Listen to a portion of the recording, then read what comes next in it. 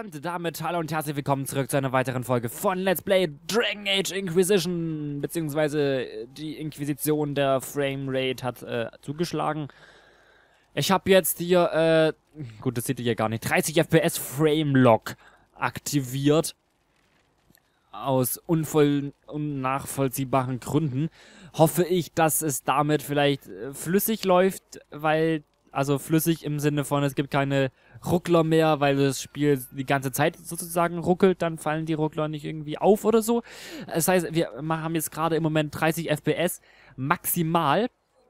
Allerdings, wenn ich hier rumlaufe, habe ich manchmal auch echt trotzdem ein paar Frame-Einbrüche, wie jetzt zum Beispiel, aus unnachvollziehbaren Gründen.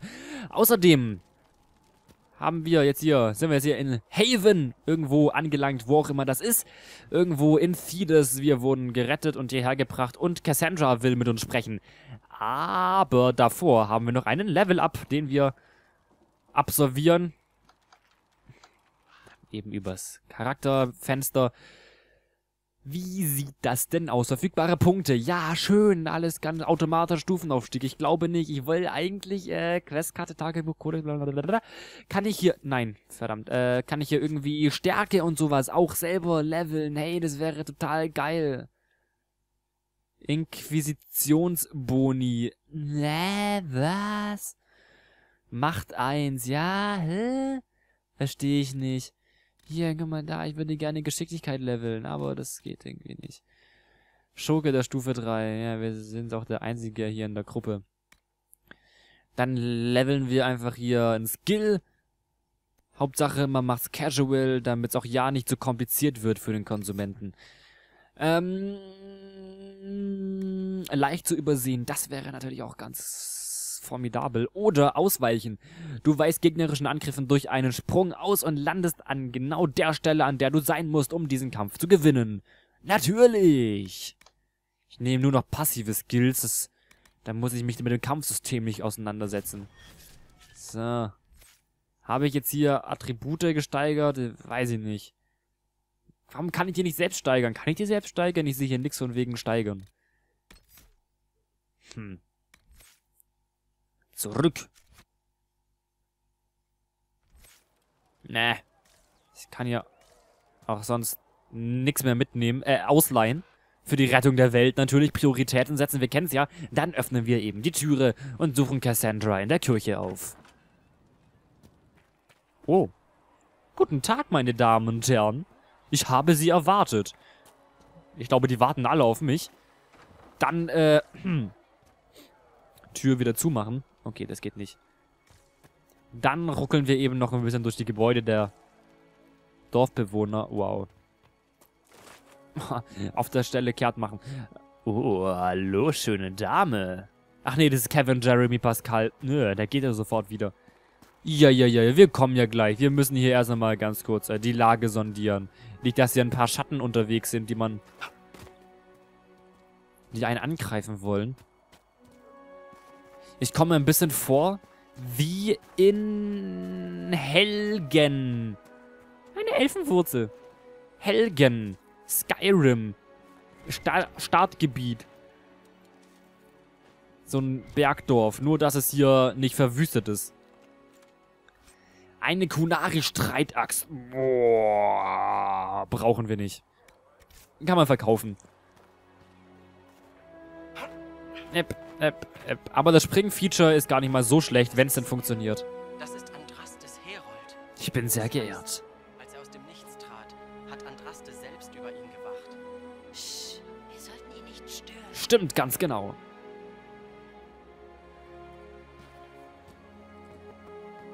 Rennen kann ich immer noch nicht.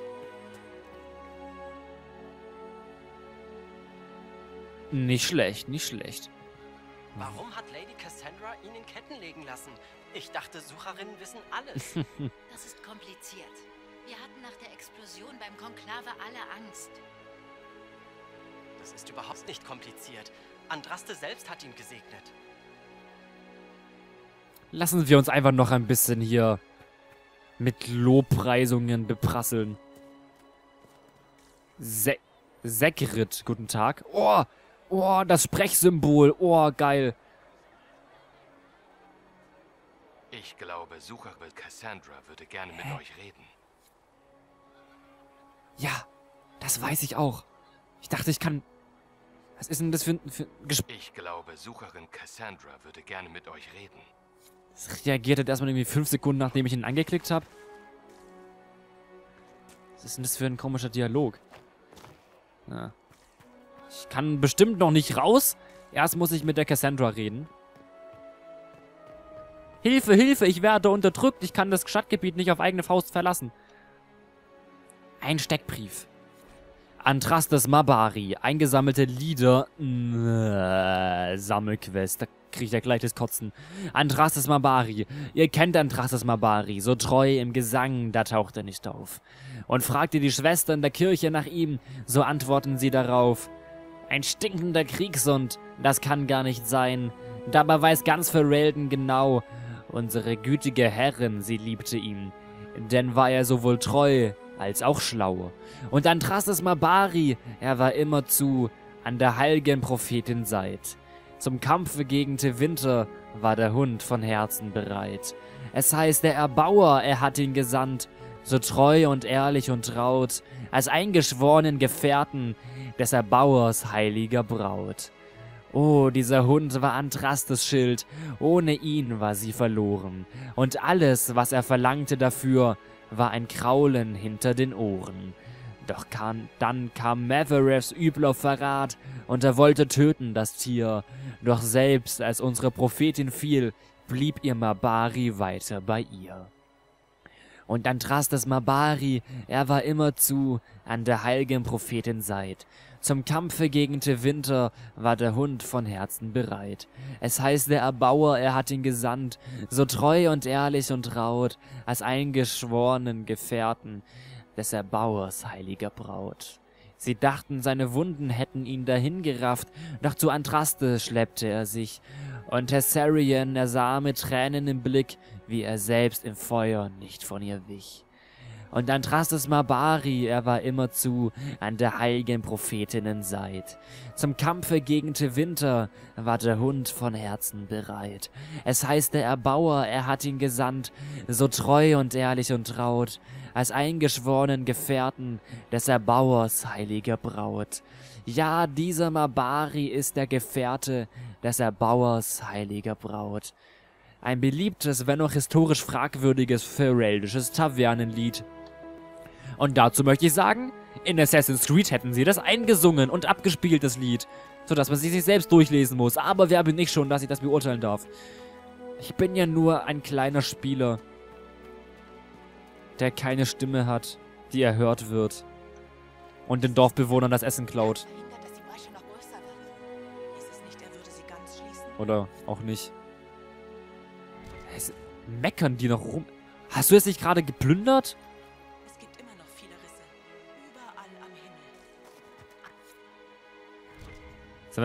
Willst du mich verarschen? Es plündert es doch mal.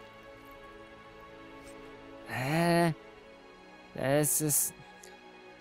Es ist doch eine Qual, ey. Ich glaube, das Spiel mobbt mich mit Absicht. Wenigstens kann ich in alle Gebäude reingehen, so halbwegs. Das ist ja schon mal etwas. Überwachung des Patienten. Dritter Tag. Wo ist der zweite Tag? Das Zittern hat nachgelassen. Leichte Reaktion auf Reize. Lebenszeichen wirken stabil. Einheimische haben schon zweimal versucht, in die Kirche, in die Kirche einzubrechen, um meinen Patienten zu töten. All die Mühen, um sein Leben zu retten, nur damit sie ihn dann hinrichten können. Ich werde Lady Cassandra informieren, dass sie damit rechnen, dass er noch vor dem Morgen aufwachen wird.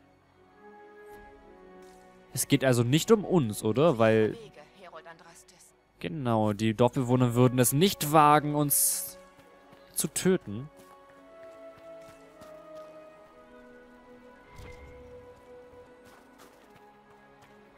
Sichere Wege, Herold Andrastes.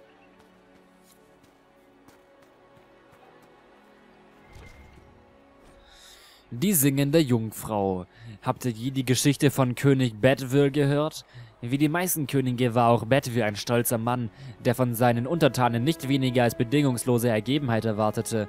Er war der Überzeugung, der beste Weg, Satz zu erreichen, sei durch Angst. Wer ihn fürchtete. Würde ihn schließlich niemals verärgern oder seine Herrschaft in Frage stellen. Und noch wichtiger, wer ihn fürchtete, wäre stets bemüht, ihn zufriedenzustellen. Bedwire förderte die Angst seiner Untergebenen durch den hemmungslosen Einsatz einer Vorrichtung, die als die Jungfrau bekannt war. Die Jungfrau war ein aufklappbarer eiserner Sarg, so hoch, breit und tief wie ein Mann, in dessen Inneren sich gewaltige Dornen befanden, die den gesamten Körper des bedauernswerten Gefangenen durchbohrten. Bedwire liebte seine Jungfrau und stellte sie, häufig mit einem schreienden Opfer darin, an einem Ehrenplatz in seinem Thronsaal auf. Politische Gegner, mutmaßliche Attentäter, verräterische Minister, die Jungfrau vernichtete sie alle. Im Laufe der Zeit wurden der Jungfrau jedoch mehr und mehr Leute über für immer geringfügigere Vergehen überlassen. Eine Köchin, weil sie die Speisen des Königs versalzen hatte, oder ein Page, weil er sein Schwert fallen ließ, oder der Chefentwickler von BioWare, der Dragon Age Inquisition, zu verantworten hat. Der Jungfrau warf einen Schatten des Schreckens über das Königreich, und das Volk betete dafür, von seinem grausamen König erlöst zu werden. Dann ritt eines Tages eine geheimnisvolle Frau in die Stadt. Sie nannte sich Ember und kam als Gesandte eines fernen Landes. Sie sagte, ihre Herrscher hätten von Bedwires Weisheit und Macht gehört, weshalb sie nun seinen, Ra seinen Rat suchte. Die Vorstellung, er habe die Bewunderung anderer Könige jenseits des Meeres erlangt, erfüllte Bedwire mit Stolz und so gewährte er Ember eine Audienz. Sie speisten und tanzten, und die ganze Zeit über schmeichelte Amber dem König. Als sich der Abend seinem Ende zuneigte, bat Amber darum, die Jungfrau sehen zu dürfen, jene berüchtigte Vorrichtung, die Bedwire zu so viel Macht verholfen hatte. Mit stolz geschwellter Brust und ganz schwindelig vor so viel Ehrerbietung zeigte der König Amber seine Jungfrau. Amber warf einen Blick auf sie, stieß einen enttäuschten Seufzer aus und sagte, Sie sieht nicht sonderlich furchteinflößend aus. Ich hätte gedacht, die Dorne seien weiter, weitaus spitzer. Bedwire wurde rot, als er ihre Reaktion vernahm und antwortete, die Dorne sind spitz genug, seht euch nur all das Blut an, das an ihnen klebt. Aber sie ist so klein, sagte Amber.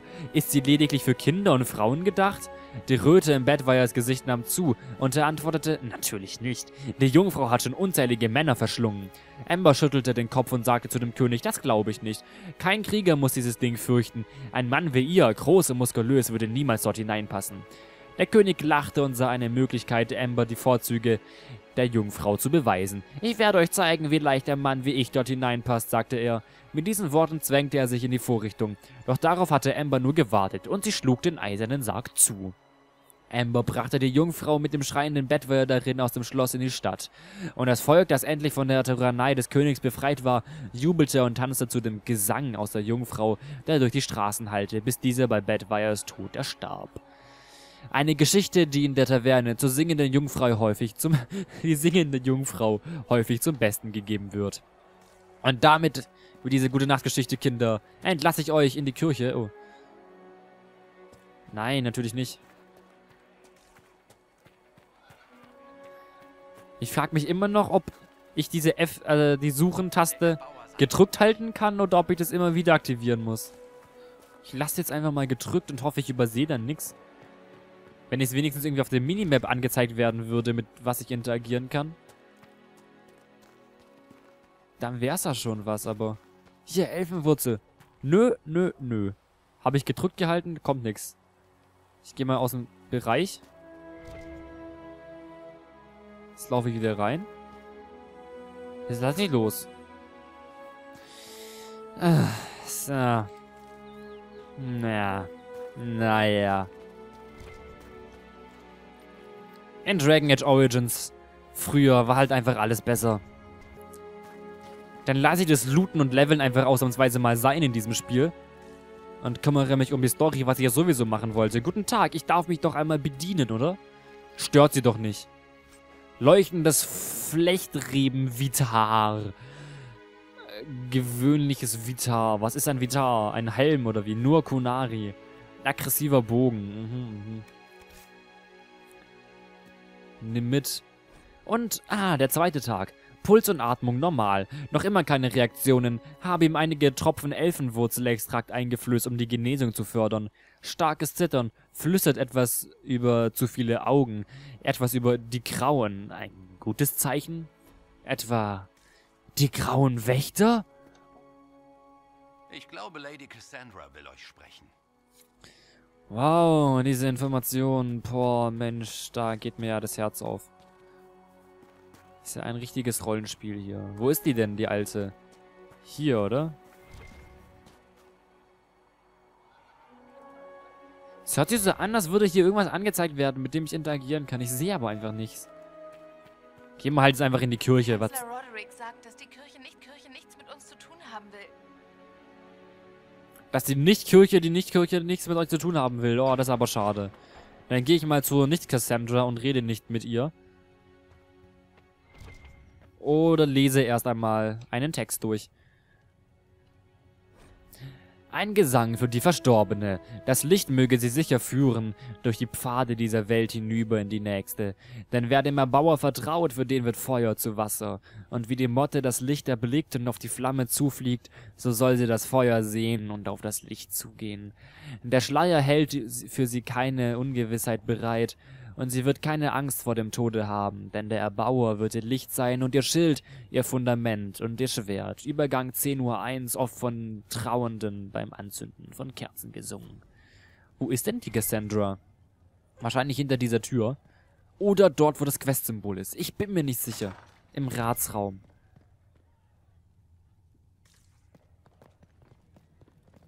Gehen wir natürlich erstmal in den Keller. Ähm. Ähm. Okay.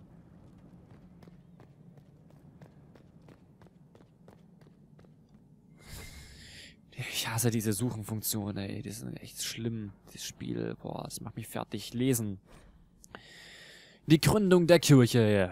Cordillus Draken, König des Stadtstaates Orlais, war ein ungewöhnlich ehrgeiziger Mann. Im Jahre minus 15 des Altertums begann der junge König mit dem Bau eines riesigen Tempels für den Erbauer und erklärte, er werde bis zu dessen Fertigstellung nicht nur die kriegerischen Stadtstaaten des Südens einen, sondern auch den Glauben an Antraste in der ganzen Welt verbreiten. Im Jahre minus 3 des Altertums war der Tempel fertig. In seiner Mitte knieten Draken vor der ewigen Flamme Andrasas nieder und wurde zum Herrscher über das Reich von Orlais gekrönt. Seine erste Amtshandlung als Kaiser war die Kirche und ihren Glauben an Andraste zur Staatsreligion des Reichs zu erklären. Den Text hatten wir in Origins schon mal gelesen. Drei Jahre und mehrere Jahrhunderte, mehrere hundert Wahlgänge später wurde Orlessa von Montsemar zum Oberhaupt der neuen Kirche gewählt. Bei ihrer Krönung zur Göttlichen nahm sie den Namen Justinia an, in Erinnerung an jene Anhängerin Andrastes, die deren Lieder niedergeschrieben hatte. Damit endete das Altertum und das göttliche Zeitalter begann. Aus Verrelden, Folklore und Geschichte von Schwester Petrine, Skolarin der Kirche. Der Bruder Genitivi hat's wohl nicht ins Spiel geschafft. Dafür aber diese wunderschöne Urne mit einem Liebesknoten linke Hälfte. Aha. Ah, da kann man auch noch irgendwie... Boah, Alter, ist ja viel zu lesen. Ich glaube, irgendwann...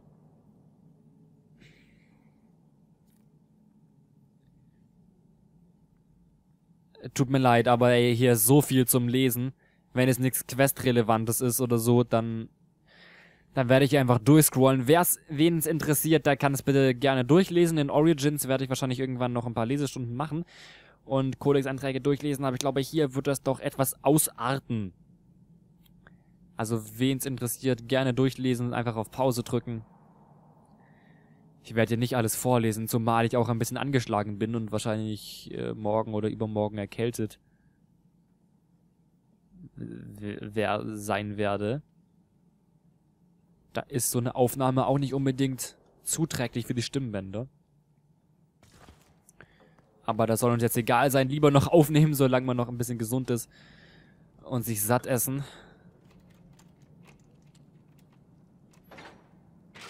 Bevor man das dann später nicht mehr kann. Andraste, Braut des Erbauers. Oh, das ist aber ja auch wieder viel Text.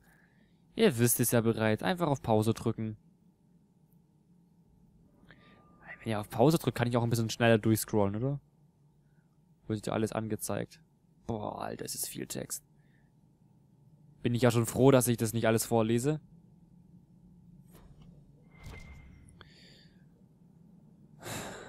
Zumal das ja auch sich auf die Folgenlänge auswirkt. Die schwarze Stadt.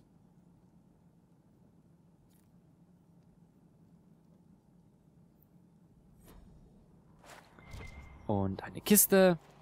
Ich glaube, wir kommen erst in der nächsten Folge zu Cassandra. Hier ist noch eine Schriftrolle. Die Jünger Andrastes.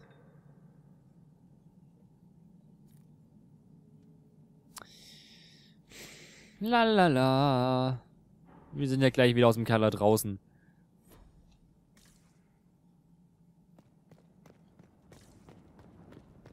Ich glaube, ich muss einfach ständig hier auf die Taste drücken, damit es hier hervorgehoben wird. Hat aber schon eine ordentliche Reichweite, also mehr als man erwartet am Anfang. Schnitzerei des Paragons äh, Duken. Oh, Spoiler, Spoiler. Leichte Abenteurerrüstung. Oder? Oder. Nee, das bezieht sich wahrscheinlich auf irgendwelche Geschehnisse vor vielen hundert Jahren oder so, irgendein Paragon.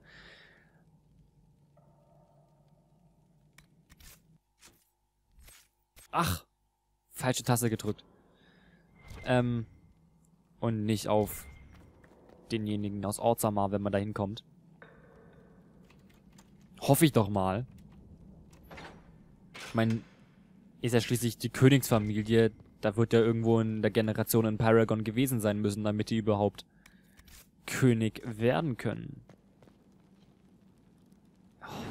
Sehr gut, erstmal ein bisschen Licht machen. Und noch ein Schloss knacken. Hurra. Und es gibt nicht mal den Skill Schlösser knacken. Warum macht er die Tür dann nicht einfach auf? Und man findet nicht mal irgendwas. Ja. Und nochmal das Ganze. Ist aber auch nichts dahinter, oder?